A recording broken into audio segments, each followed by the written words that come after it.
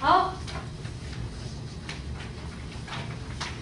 有同学说：“哎呀，看了一个星期这个，两个星期这篇文章，看的那个心都难过了哈。”好，所以有个好消息，我们下星期就不看了，我们看电影。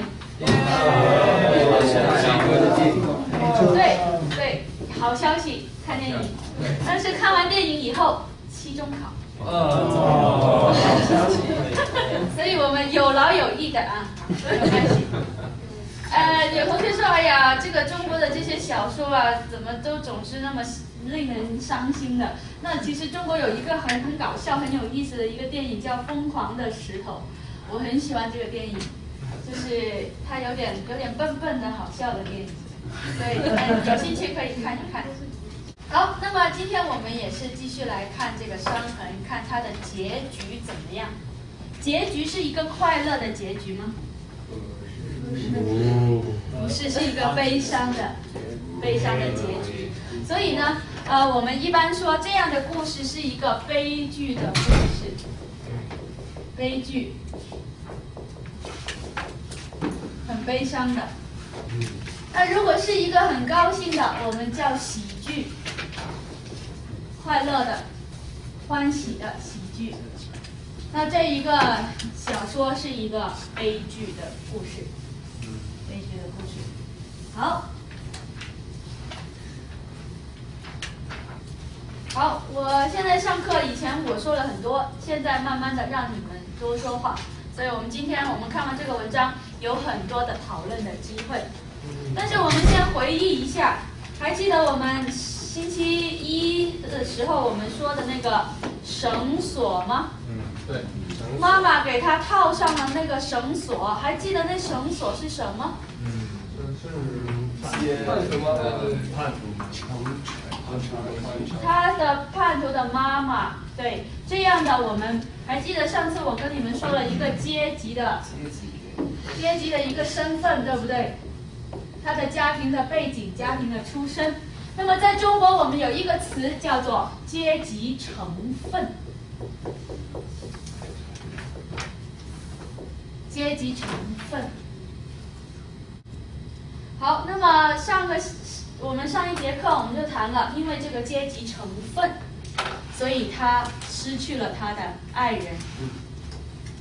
好，那么我们再看看，因为这个阶级成分对他的家庭又有什么样的？你看政治，刚刚我们看了爱情对爱情的影响。我们现在看这个结局，就是对他的家庭的影响。好，呃，从这个一百零四页，从一百零四页的下面，又是两年过去了。从这个地方开始，四人帮，上次我们介绍了这个历史，四人帮后来就粉碎了。大家都知道，四人帮做了很多坏事儿。所以不再让他们管理这个国家，于是让他们下台，粉碎了四人帮。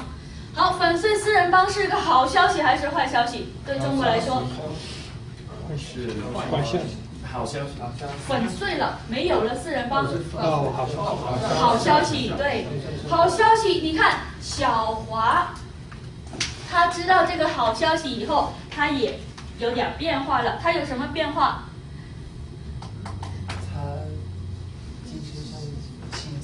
对他精神上逐渐的轻松了，还有呢？他的嘴角有了什么？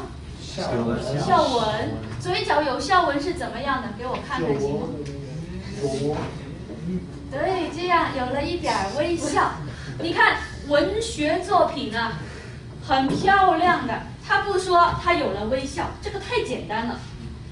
这文学作品很漂亮，他写了。嘴角，你看要看这嘴角有了笑纹，是这样写的。你们觉得漂亮吗？嗯，对，这就是文学的一些语言。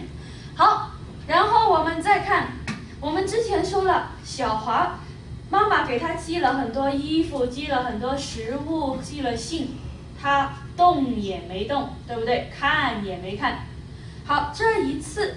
四人帮粉碎了以后，妈妈又给他寄了一封信，看了没有？对，看了，很好。我们看看这封信写了什么。妈妈在信上写了什么？回家吧。哦，对，叫他回家吧。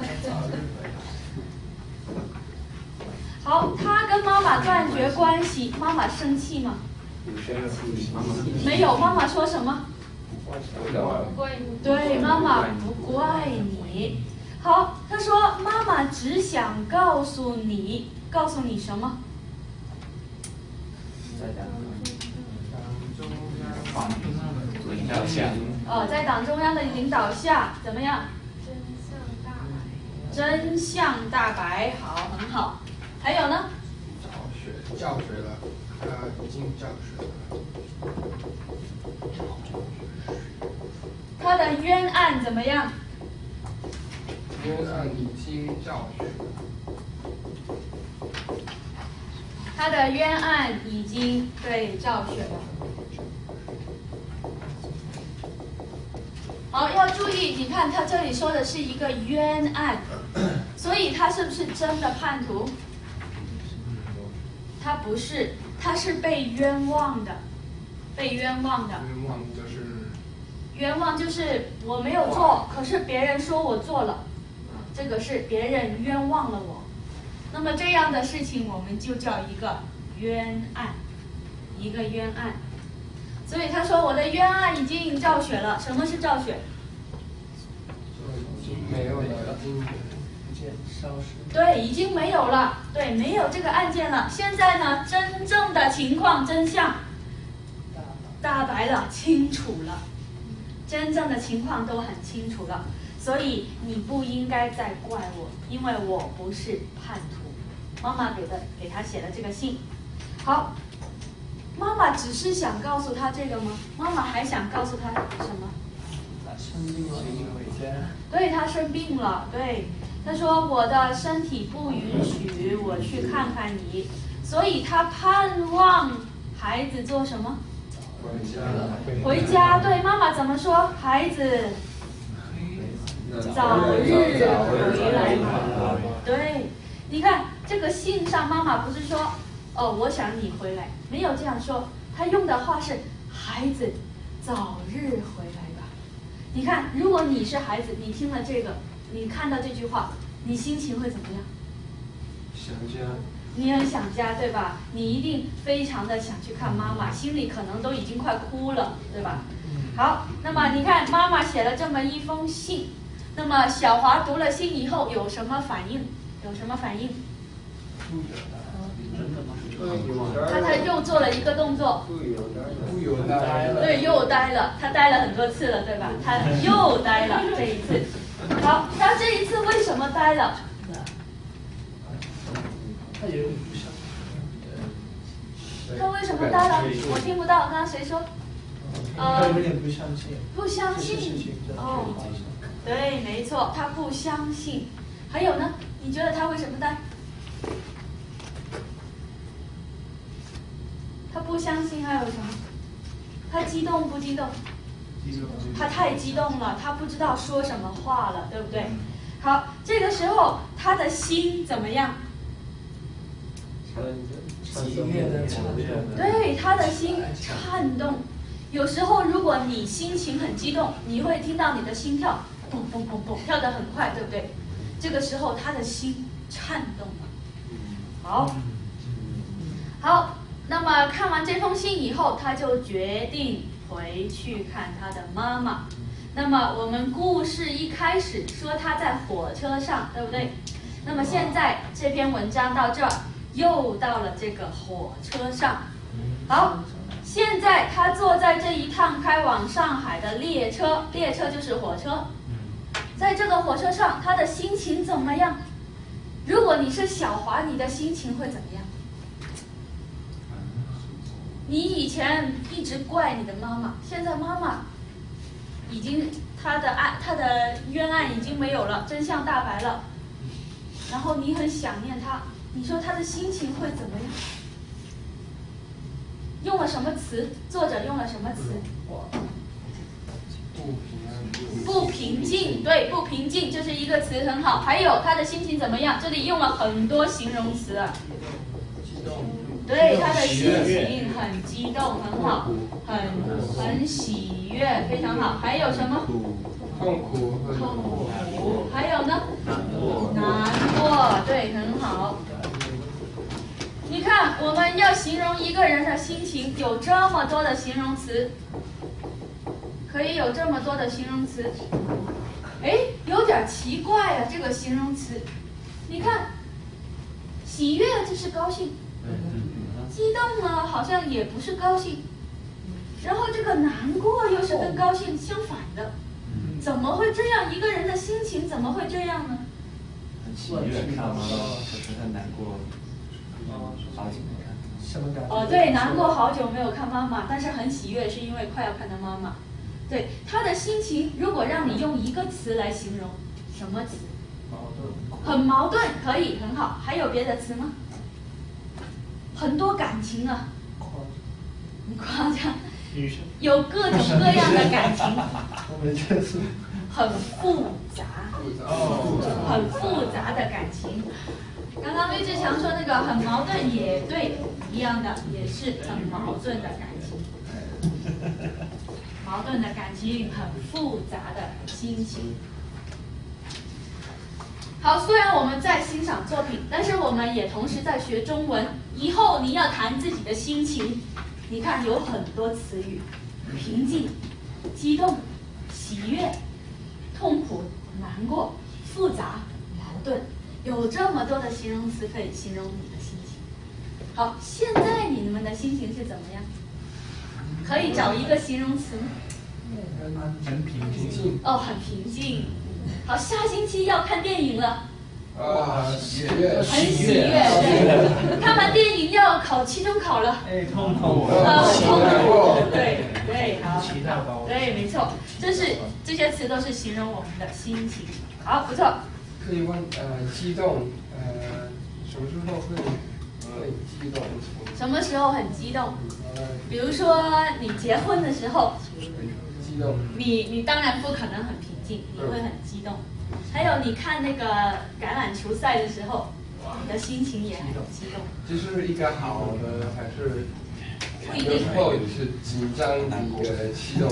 对对对，这个激动只是说不平静的意思，有好有不好都行。好。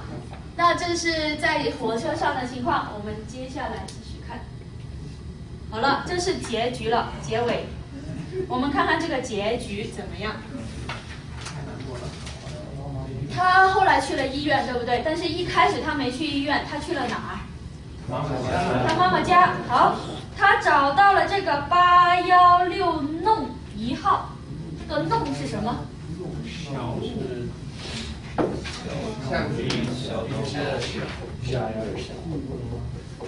这个弄就是一条小街，很窄的路，对，很好。那么一般在哪个城市经常说弄呢？大城市。在上海，在上海一般叫一个弄，一条弄。好，在。台台湾也是，因为台湾有很多那个就是江苏还有上海人过去。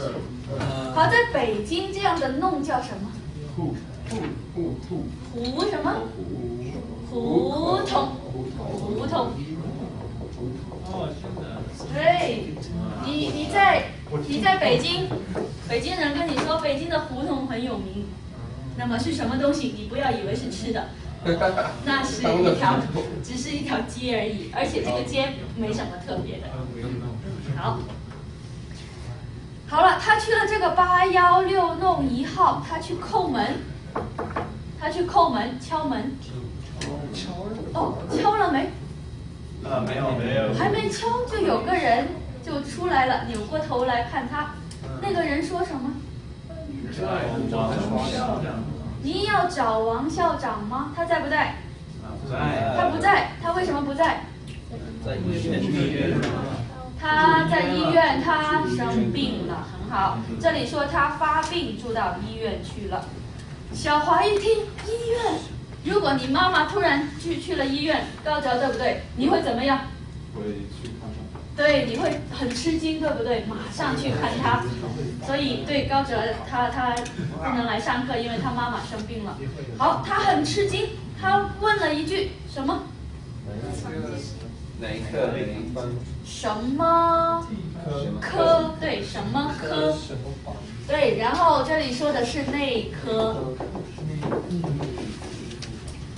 科是医院的一个部门，是跟那个人的身体里面有关系的内科。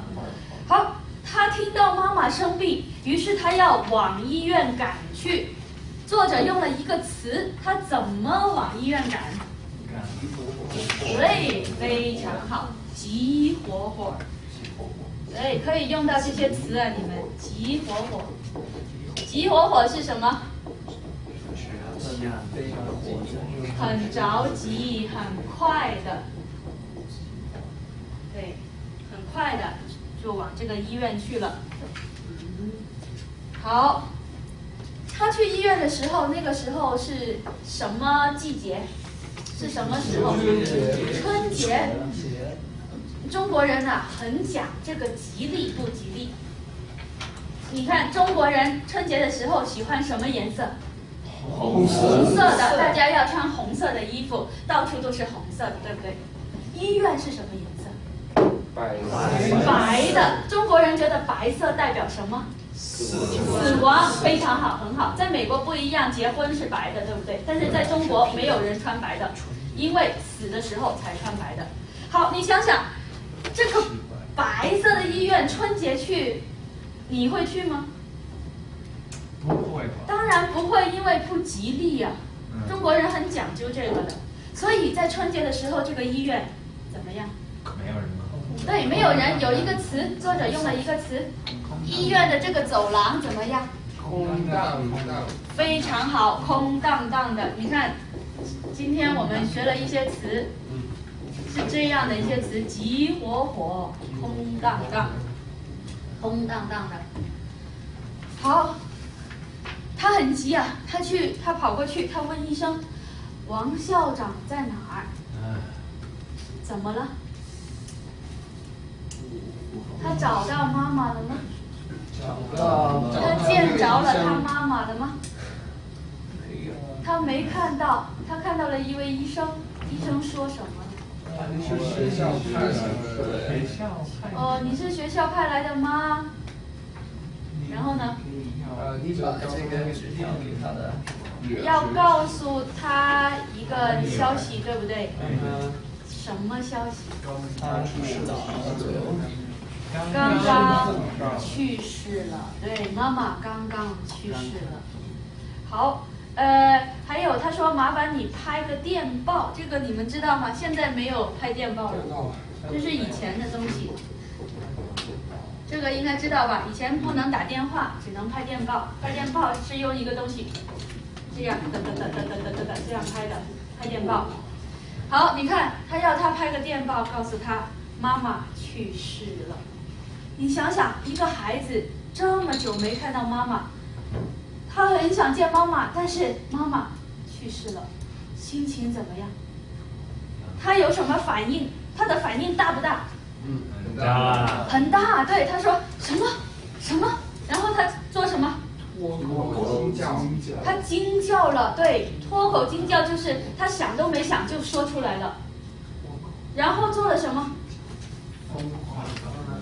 他瞪直了眼睛，怎么瞪直眼睛？你们瞪给我看看。对对，非常好，瞪直眼睛，然后做什么？发疯，发疯似的奔向了二号房间。这里有一个词叫“奔”，奔是什么？跑。好，对，没错，很好。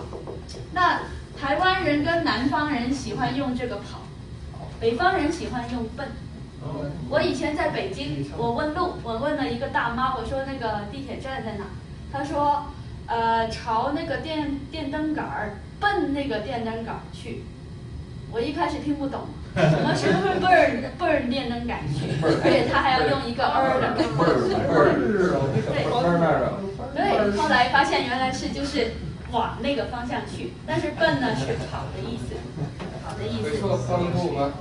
不不不说奔步，是说奔跑。好了，他他奔到那个房间去，而且作者用了一个词“发疯似的”。他都不管别人怎样了，对，已经疯了。好，砰的一声，我们已经知道了，很大声，砰的一声，对吧？推开门，他做什么了？自杀。他自杀了吗？他做什么了？到病床旁边。他到病床前面，然后呢？看到真的是。哦，看到妈妈，他怎么看他的妈妈？说一下他的动作。接起，接起白布。接起了那个白布，对，他的手是怎么样的？双手抖着的。发抖着。对，发抖，抖着双手。为什么呢？因为太激动了，他不敢相信。就是。好，你看看到妈妈以后，你看作者用了一样的句子，他说啊。这就是妈妈，说了两次，啊，这就是妈妈，哎呀，他心情多难过呀！好，你们估计也很难过了。现在，好，他第一句话他说已经分别了九年的妈妈，现在永远分别了的妈妈，分别是什么？分开的，对吧？离开了。好，永远分别。不会再见到了，对，永远的离开了。好了，最后到了最后，这个小华他做什么？他呼唤他呼唤妈妈，妈妈，妈妈，妈妈，呼唤。看看吧对，看看吧，我回来了。他还做什么？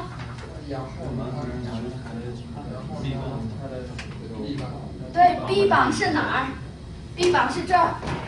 对他摇他的妈妈，他很大力的摇，猛烈的摇。你能够体谅他的心情吗？可以。但是作者最后一句话，他说：“可是再也没有任何回来。”好，故事结束了，非常悲伤的故事，对不对？啊，要哭了。对了。大对，呃，这样的故事是非常的悲伤的，但是也让我们看得很感动，对不对？在这里，我们看到了很多东西，看到了政府跟人民的关系，看到了爱情，看到了亲情。好，好的，那么剩下的时间，哎呀，今天我们时间很多，哎。我好奇那个四人帮，嗯，怎么就会来？怎么了？他们就。被杀死，或是后来呢？有人就说四人帮做了很多坏事，他害死了很多人，所以呢，就是大家一起都认为四人帮做了很多坏事。后来就认为他们不是好人，而是罪犯。听得懂罪犯吗？嗯。所以要给他们判判那个他们有什么罪。所以最后还记得那个照片吗？有。在这，在这，对。那么他们当时就在这里，你看后面都是警察呀，他们已经不再是好人了，他们已经变成了罪犯了。那么最后就宣判他们，你们有罪，你们要接受死刑。然后来这几个人都死刑，然后就就死了，再也没有他们的情况了。好，我们今天有很多时间进行一个讨论。看了这个故事以后，我们一边学故事，同时也了解中国的历史。好，在听你们意见之前，我先说一下我自己的看法，因为你们应该比较好奇中国人怎么看的。你们学了两个星期这篇课文，可能觉得哇，中国怎么是这样的？有点 有点被吓到了，对不对？但实际上，这个只是七十年代的中国，并不是。现在的中国也不是历史上很久很久的中国，这个时代的中国只是十年里面十年的中国。好，那对于像我这样的年轻人，文革，我看这个故事跟你们看的一样的，我觉得离我很远很远。就像你们如果看这个，像什么呢？我看这个，我觉得我像看那个现在的北朝鲜。我觉得跟我的生活没有任何关系。所以你要问老师，这个这个故事的中国是是你你生活的中国吗？我会告诉你不是。所以你问我，呃，老师你讨厌共产党吗？你你讨厌中国政府吗？我没有生活在这个时候，我没有讨厌，我还是很喜欢我的国家。我的政府现在做的有些事情，我也不是很赞成。就像你们，可能你们也不赞成政府做的事情，但是呢，你还是爱你的国家，对不对？我也爱我的国家。我看到这个故事，我批评他们很多，但是呢，我觉得那个离我太远了，没跟我没有关系。我现在的中国很不一样的。好，所以这就是现在中国人对文革的一个看法。那还有一个原因，为什么这个故事离我这么远呢？因为我们的历史书上没有很多关于文革的东西，所以其实你问现在的年轻人，文革怎么样，不是很清楚。你问我爸爸妈妈。那我的爸爸妈妈如果不是在北京，他们其实也离文革有点远。他们去哪了？他们去农村了。他们也什么都不知道。所以这个文革你要记得，我们读的这个故事只是中国十年的故事，而且这个十年是中国非常特别的十年。我们把这个文革看作是像一个战争的时候的中国，并不是真正的中国。所以，我们现在看不同的故事，我们来了解不同的时候中国是怎么样的。那么，这个战争的时候的中国非常的特别，对不对？听的歌很奇怪，他们的想法很奇怪。那但是呢，很有意思。十年以后，中国就不一样。有了邓小平，邓小平以后，你看现在我，你会觉得我是跟这样的人一样吗？不一样。不一样的，对我讨厌这个共产党吗？也不是，因为我从小到大，我还是受到共产党的影响长大的。我有那个红领巾，我也是那个，呃，我是团员，对吧？但是我，我跟我跟这些人很不一样。那么有的同学说，老师你有没有被洗脑呢？其实我有一点点。因为我从小到大，共产党教我，我看的那个课本，共产党的课本，所以我是有一点点洗脑。但是现在的中国人不一样了，现在的中国人他们看到更多的东西，所以他们的脑袋更加的清楚。嗯嗯，好好的，那这就是我的一个看法。有很有有些老师，他们如果谈到这个文革，一直批评，说中国不好，中国共产党不好，我觉得。不管是中国人、别人还是美国人，我们看这个东西，我们要从历史要客观的看，来客观的评价，不要一看到这个就不对，看到那个就是对的。这个世界上对和不对，没有一个很清楚的一个界限，对不对？所以我们在学习文学、学习这些的时候，我们要多思考，要多去思考。在这个课上，你们学很多中文，学很多语言文学。但是我希望你们学到最多的就是去想想这个世界，去思考这个世界。好，下面就让你们去思考了。首先，这个故事你觉得它的主题是什么？有这么多的情节在里面，你觉得它的主题是什么？批评文革吗？对文革的反思吗？对中国的反思吗？对中国人的爱情、人的亲情、人跟政府的关系的思考吗？想一想。还有，你觉得在这个故事里面哪一部分给你的印象最深刻？好，我们讨论一下，跟你的朋友讨论一下，可以，可以三四个同学一起讨论，人多一点没有关系。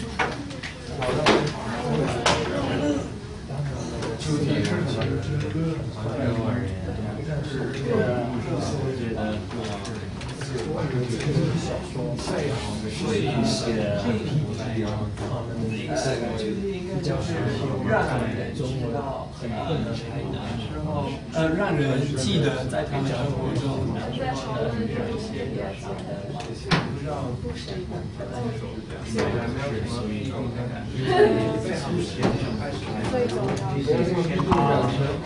因为是提醒他是有一点非常确切形成正让我知道那时候呃就是经历的那种特别不好，一直就是我对特别不好的一个四人帮犯罪的时候，这个犯有有一点儿有那个。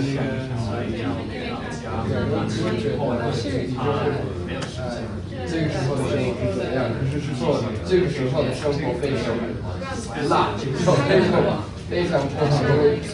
呃，就小孩子因为父母亲的行为而受到这些一些学的结果，这个孩子因为父母亲对捍卫叛徒，他就呃讨厌他的父母亲，就我觉得就给我们看，就爱情都没有，就就又一个跟父母亲好关系都没有，所以我就觉得这就是说这个时代他们生活，一种比就是不是直接去的。Chair 都是安保的关系，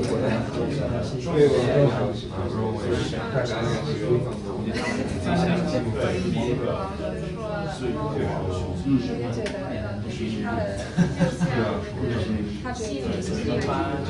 深刻的印象是啥？呃，我我觉得最嗯，你看这个共产党在这个四十这个时候，他们也会呃批评呃支持共产党的人，不就不就是不就是呃资本主义的人，也是批评资本主义的孩子，所以他们就会那个。因为他的观点的话，对对，是这个这个当然跟妈妈关系关系不稳定，稳定的话就不会跑。在上学之前，当他已经他强化需要稳定，需要如果不是在美国。没有，我是说一下衣服的颜色。应该是因为我们被担心有的当然了，那个会很清晰，对日的发展对是，所以现在找到会议的而且啊，后来做上海这个这个当然呃文化去一个。啊，因为说的话，发现到他嗯，有点中气，可能是那个时候我是大概二年代、三年代，因为这个时候应该有点像我，好的，行，我们听一下你的意见。好，这篇故事的这个主题是什么？没有错的答案，我想听你们的答案。我觉得一点像啊毁灭，嗯，那个熄灭吗？熄灭，谢谢。啊，主题就是家庭。啊呃，这时候有文革有很热闹的呃情况，但是呃以后呃他是他后悔他跟他妈妈的关系，他希望他们。以前可以可以更好，所以我觉得家庭是。所以也是教育人们，这个家庭是最重要的，是吗？好，很好，这是一个看法，有别的看法吗？我先。我觉得，嗯，每一个国家都有一些，嗯，历史上不好的、不光彩的一面，是吗？对。然后，我觉得。这就是好。嗯，对，我们我们不能去顾虑这些不光彩的一面。嗯哼。我们要从这些经验学习。嗯哼，好的，很好。所以是让我们也学习到这个国家历史上面不好的一面、不光彩的一面，比较丢脸的历史也要学，对吧？好，吴天俊。嗯，我觉得一个人别，嗯，把他们的前途建立在政府上，嗯哼，而最好在亲好朋友的关系上。嗯哼，好，所以这是教育人们不要把人跟政府的关系看得太重，不要让你的生活围绕着这个政府，对不对？好，木杰。我我自己不认为这个故事没有这么教严的一个呃意思。没有什么？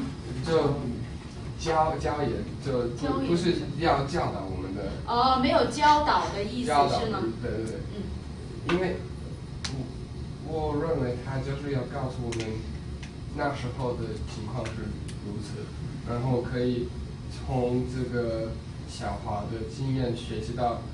呃，七十年代的状况是这么糟糕的。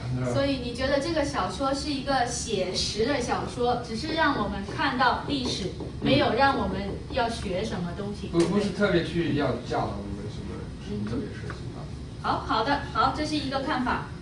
我觉得啊，我们讨论的是，我们觉得这个故事可能不是一个，不是一个很。批评的一个故事，但是提供了一个例子给我们看，是所以因为文革这这种情况常常会发生，所以比较是消消极的 passive，消极的对对，消极的批评那个文革和文革做的事。嗯哼，好，你觉得是一个比较消极的一个批评，对吧？好，廖一鸣，你刚刚举手了是吗？对对对，我我。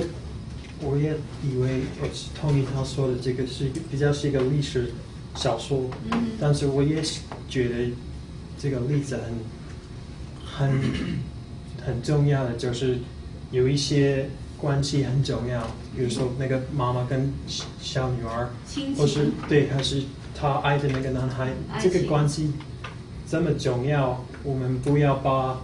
社会他说的政府是社会的这个想法，去信赖他们，去影响到对对对，去影响到我们。而且我我他问我，我想问你，哦，这个没有说没有讲什么爸爸，他没有讲到他爸爸，他爸爸死了，死了，我们我们就死了。好的，你觉得这个故事哪个部分让你印象最深刻？印象最深刻的部分有吗？一些比较安静的同学，最后几段啊，最后几段就是想说，呼唤妈妈，妈妈，妈妈，那个看得掉眼泪了，对吧？嗯。好，很深刻的。什么什么？不好意思，我说了你要说的。我说差一点掉眼泪。差一点了。好，很好。我觉得最深的部分是他在看他妈妈的信，给他的信，因为我们看他妈妈好愿意，他好愿意原谅他。我觉得呢，感动，看着很感动，好，很好。还有别的部分吗？嗯，我觉得最深、最有意思的部分就是，嗯，看着呃这个共产党他们对他们自己的团员也那么好，呃，也也那么不好。嗯，好，党员。对，他他们的党员在啊，也也像这个上山下乡呃的 program 的呃这个。运动就好了。OK，对，嗯，是看呃没有给那个呃一直批评那个小孩，但是也也呃把惩罚给那个小林嘛，小小苏苏小林，对苏小苏小林。嗯哼，呃，所以其实你这这个故事也反映出共产党就是对他的党员并不是太。就是在这个时候而已，我只是觉得很有意思的。好的，好，非常好。好，还有别的意见，可以在你们的读后感里面告诉我。最后有一个很重要的一个问题，第三个，这个小说还记得吗？是什么小说？伤痕小说，对，非常好。伤痕小说，伤痕文学。请问伤痕是什么伤痕？这是一个比喻。嗯。什么样的伤痕？讨论一下。什么样的伤痕？是国家的伤痕。是。中国家的这个是想到呃那个不止不止想到妈妈的生活，想到每一个孩子生活，而且会去想到孩子那个伤痕小说，就是在吃着那个沙丘啊，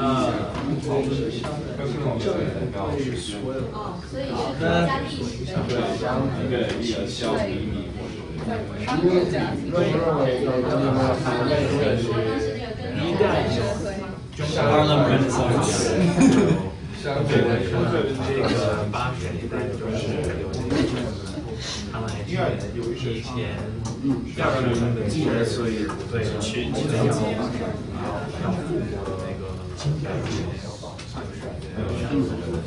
对对对对，他们他们大萧条。对那个那个 Great Rap 就是好的，也是听一听，没有对的答案，你们的答案只要能说服别别人，你都是一个好的答案。所以这个伤痕，你觉得是什么东西？他们受了什么伤？有个什么样的伤痕？你们觉得代表什么？如果孩子看这个太难了，伤痕听不懂，那你要解释这个伤痕是什么呢？你觉得，多久？啊，我觉得我已经告诉他们，我觉得伤痕，伤痕是可能是一个国家的很很呃很黑的呃小秘密，所以不要他们的秘密。美国的越南呃战战争是吗？对，你觉得是历史上中国历史上的一条伤痕？对，可以。中国历史上一个不好的一段历史。对，我觉得这样说不对，呃，不错，对不起，是很好的。好，还有吗？这个呃，一个人如果有伤痕，就代表他们已经受伤了。我觉得这可可能在那个七十年代的文革，嗯，他们。可能那个比喻就是人民差一点儿自杀了，他们所做的行为把他们的，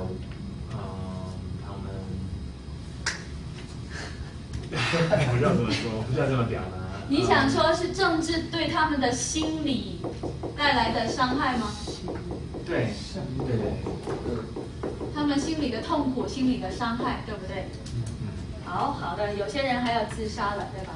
好，你看，我觉得这个伤痕文学也代表着这些人不呃永远不会忘记，而且也会教导他们的孩子们，他们嗯很像在在美国呃有努力的时候嘛，他们呃这些黑人他们的孩子也还记得，因为呃都都学到这个努力的时候有这个伤痕。好的，很好，就是一个历史上的，这个不是一个伤，而是伤痕，所以以后都要记住的，对不对？孙尚德。这个是要说可能是啊后悔，因为啊你做一个不好的事情，你永远会记得它，然后你的伤痕不会一直会存在，所以你没有办法忘掉它，所以可能对这个。女孩子来说，伤害是后悔，对，是一种希望可以改变她以前做的事。对，很好，一个很痛苦的回忆，一种后悔。好，还有别的理解，也是在你的读后感去说。这个这一次的读后感应该有很多话要说，对不对？好的，剩下的时间我们做一个小考吧。你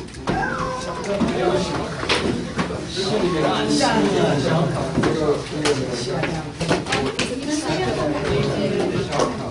下课我们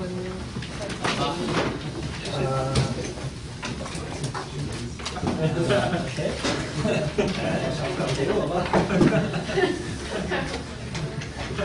maybe maybe this one. Um,